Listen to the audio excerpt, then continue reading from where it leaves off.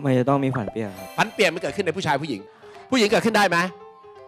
ไม่ได้เหรอและตอนที่ผู้หญิงมีอารมณ์ทางเพศ วันนั้นอ่านหนังสือโป๊ไปอะไรต่างๆ นะ แล้วดูหรือว่าดูหนังโป๊ไปอะไรต่างๆ แล้วคืนนี้มันมีอะไรแฉะๆอันนั้นมันเปียกไหม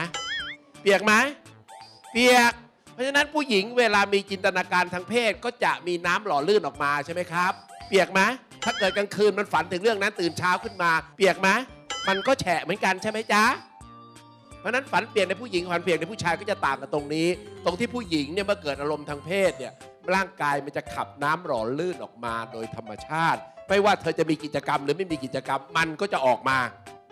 นะถ้าตื่นเช้าขึ้นมาแฉะก็แปลว่าคืนนั้นมันคิดอะไรอยู่ก็ไม่รู้เนาะส่วนผู้ชายอันนี้ครับผู้ชายเขาถาม ผู้ชายลูกอันทะผู้ชายเนี่ยเป็นแหล่งผลิตตัวสุจิ เป็นโรงงาน จากโรงงานก็ต้องมีสายพานส่งไปถังเก็บนะทุกวันทุกวันเนี่ย ลูกอันทัมจะผลิตตัวสุจิตไปเรื่อยๆแล้วมันก็เก็บไว้ที่ถังเก็บ ถังเก็บมีตะวันเต็มไหมลูก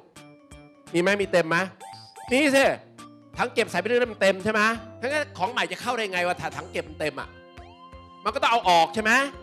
ซึ่งปกติพวกเธอก็เอาออกด้วยตนเองอยู่เป็นประจำอยู่แล้วใช่ไหมครับ นี่ถ้าเกิดอะไรเป็นผู้ชายที่ไม่เคยเอาออกด้วยตนเองเนี่ย พอมันใกล้ๆจะเต็มเนี่ยตอนกลางคืนตอนที่หลับไป สภาพจิตใจมันก็มาควบคุมร่างกายถูกไหมครับ ถูกไหม ราะตอนกลางวันเราท่องนโมธรรมโมตัสสะตกสะไม่คิดเรื่องนี้ก็ได้ใช่ไหม